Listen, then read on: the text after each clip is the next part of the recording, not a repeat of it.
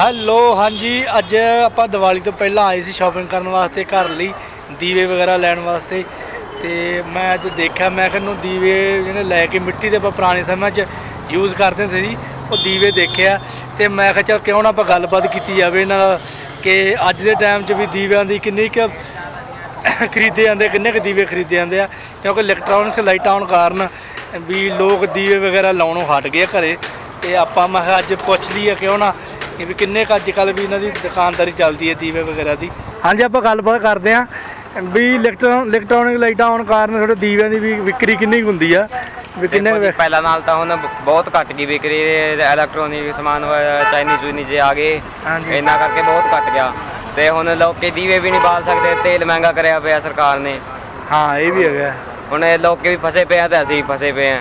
ਹਾਂ ਤੁਹਾਡਾ ਫਿਰ ਕੰਮ ਹੀ ਇਹ ਆ ਕਿੱਤਾ ਨਾ ਇਹੀ ਕੰਮ ਹੈ ਸਾਡਾ ਦਾ ਲਾਈਟਾਂ ਆਉਂਦੀਆਂ ਸੀ ਚਾਈਨੀਜ਼ ਉਹਦੇ ਕਾਰਨ ਥੋੜਾ ਕੰਮ ਘਟ ਗਿਆ ਸੀ ਔਰ ਹੁਣ ਥੋੜਾ ਮਹਿੰਗਾਈ ਦੋ ਸਾਲ ਕਰਕੇ ਪਹਿਲਾਂ ਵੀ ਕਟਿਆ ਸੀ ਇੱਕ ਵਾਰੀ ਬਹੁਤ ਕੰਮ ਕਟਿਆ ਸੀ। ਅੱਛਾ। ਹਾਂਜੀ। ਤੇ ਹੁਣ ਥੋੜਾ ਹੋਰ ਘਟ ਗਿਆ ਤੇਲ ਤੂਲ ਮਹਿੰਗਾ ਹੋ ਗਿਆ ਹੁਣ ਹੋਰ ਸਰੋਂ ਦਾ? ਘੱਟ ਗਿਆ। ਠੀਕ ਹੈ। ਇਹਦੇ ਕਰਕੇ ਥੋੜਾ ਬਹੁਤ ਫ਼ਰਕ ਪਿਆ। ਹੈ ਹਾਂਜੀ। ਠੀਕ। ਤੇ ਵੈਸੇ ਕੋਈ ਡੇਲੀ ਤੁਹਾਨੂੰ ਕਿੰਨੇ ਦਿਨ ਹੋ ਗਏ ਲਾਉਂਦਿਆਂ ਨੇ ਉੱਥੇ? ਇੱਥੇ ਮੈਨੂੰ ਪਰਸੋਂ ਆਇਆ ਸੀ ਮੈਂ। ਅੱਛਾ। ਤੇ ਅੱਜ ਤੀ- ਤੀਸਰਾ ਦਿਨ ਹੈ।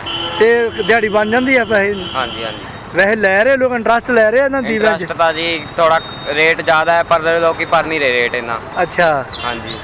ਤਾਂ ਕਰਕੇ। ਹਾਂਜੀ। ਇਹ ਚਾਈਨੀਜ਼ ਲਾਈਟਾਂ ਕਾਰਨ ਪਹਿਲਾਂ ਤਾਂ ਪਹਿਲਾਂ ਹੀ ਇਹਨਾਂ ਦੀਵਿਆਂ ਦੀ ਮਾਰ ਪਈ ਸੀ ਵੀ ਲੈ ਨਹੀਂ ਲਏ ਸੀ ਲੋਕ। ਹੁਣ ਥੋੜਾ ਜਿਹਾ ਤੇਲ ਮਹਿੰ- ਮਹਿੰਗਾ ਹੋ ਗਿਆ ਸਰੋਂ ਦਾ ਔਰ ਇਸ ਲਈ ਦੀਵੇ ਨਹੀਂ ਬਾਲਦੇ ਲੋਕ। ਇੱਕ ਵਾਰ ਲਾਈਟਾਂ ਲੈਣ ਤੇ 4-5 ਸਾਲ ਚੱਲੀ ਜਾਂਦੀਆਂ।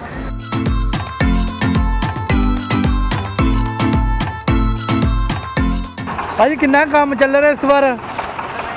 ਕੋਈ ਖਾਸ ਨਹੀਂ ਹੋਊਗੀ ਕੰਮ। ਅੱਛਾ। ਮੈਂ ਕਹਿੰਦੇ ਕੋਈ ਹੈਂਡਰਾਸਟ ਲੈ ਰਿਹਾ ਦੀਵੇ ਦੂਵੇ ਲੈਣ ਚ ਲੋਕ ਨਹੀਂ? ਹਾਂ ਹੈਗਾ ਵੈਸੇ ਥੋੜਾ ਬੰਦਾ। ਅੱਛਾ। ਵੈਸੇ ਮਹਿੰਗਾਈ ਤੇਲ ਤੂਲ ਮਹਿੰਗਾ ਹੋ ਗਿਆ ਨਾ ਉਹਦੇ ਕਾਰਨ ਵੀ। ਉਹਦੇ ਨਾਲ ਬਹੁਤ ਫ਼ਰਕ ਪਿਆ ਜੀ। ਸਰੋਂ ਦਾ ਤੇਲ ਮਹਿੰਗਾ ਹੋ ਗਿਆ ਨਾ। ਲੋਕ ਚੱਲਦੇ ਆ ਨਾ ਅਗਲਾ ਸਰੋਂ ਦਾ ਤੇਲ ਪਾਵਾਂਗੇ ਇੰਨਾ ਮਹਿੰਗਾ। ਜੀ ਜੀ ਜੀ ਹੈਨਾ? ਬਿਲਕੁਲ। ਕੁਝ ਲਾਈਟਾਂ ਲੂਟਾਂ ਨਾਲ ਫ਼ਰਕ ਪਿਆ ਗਿਆ ਨਾ।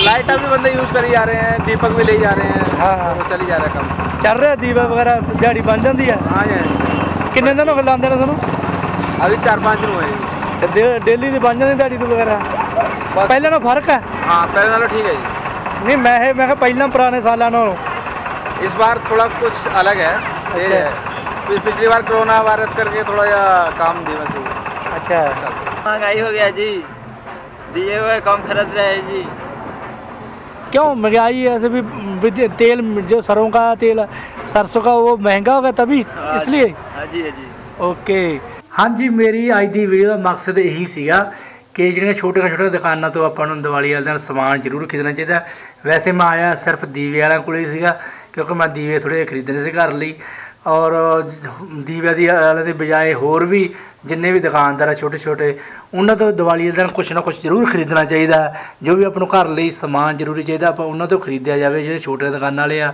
ਔਰ ਦੀਵੇ ਵਾਲੇ, ਤਾਂ ਜੋ ਇਹ ਵੀ ਕੁਝ ਪੈਸੇ ਵਟ ਕੇ ਆਪਣੇ ਦੀਵਾਲੀ ਮਨਾ ਸਕਣ। ਮੇਰੀ ਅੱਜ ਦੀ ਵੀਡੀਓ ਦਾ ਇਹੀ ਮਕਸਦ ਸੀਗਾ, ਤੇ ਆਪਾਂ ਮਿਲਾਂਗੇ ਅਗਲੀ ਵੀਡੀਓ ਵਿੱਚ। ਤਦ ਤੱਕ ਲਈ ਬਾਏ ਬਾਏ